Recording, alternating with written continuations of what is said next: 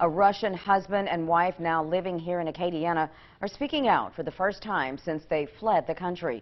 News 10's Britt Lofaso spoke with the couple as well as the police officer who helped them escape. Behind me is a draft notice that 28-year-old Anton Lukin received from the Russian government in March informing him he was being drafted to fight in the war against Ukraine. Lukin, who did not who knew he could not fight for a war he did not believe in, decided to flee here to Acadiana with the help of a Port Barre police officer.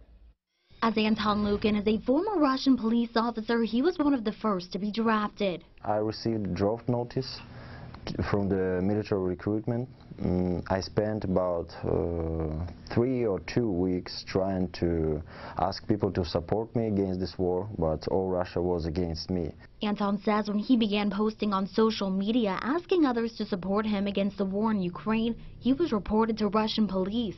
Police was coming to my parents' house. They asking where is Anton. In Russia, if you are against this war, you will go to jail to 100%. That's when he and his wife knew they had to leave. With the help of his friend, a police officer in Port Barre, he and his wife Tatiana made it to America. Although refusing to answer the Russian draft as treason, Anton says he could not fight for the cause. I don't want to kill innocent people, and I will, I will be killed.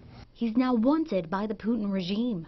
If he returns to Russia now, he says he'll either be killed, put in prison, or sent to fight on the front lines in Ukraine as a Russian prisoner. These soldiers are called War Dog battalions. They got only one one task to clear the town or the special any place. So to clear, to they they clean yeah they raping they robbing people they killing civilians killing civilians they do anything because they, it's a prisoners. Port police officer Brad Tate helped Anton and his wife escape these fates. He said, you know, I don't want to go and kill innocent civilians in Ukraine, and I received a draft notice to go to war. What do I do? And he was like, can you help me? I said, well, look, I said, if you guys can find a way to lawfully come to this country, I will help you in any way that I can. Officer Tate helped Anton and his wife pay for their plane tickets and found a way to bring them to Acadiana. Not only was it a more being compelled morally, but it's one of my best friends. The couple is now living with Officer Tate at his home in Opelousas. The Russian citizens are no different than us. They, they're not the enemy. The regime is the enemy.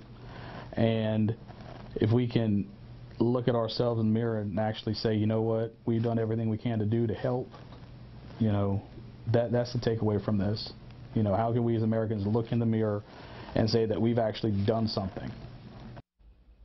Anton and his wife are in contact with immigration lawyers but need help financially for immigration and legal expenses. To find out how to help, visit our website, klfy.com. Britt Lofaso, KLFY News 10. Thank you.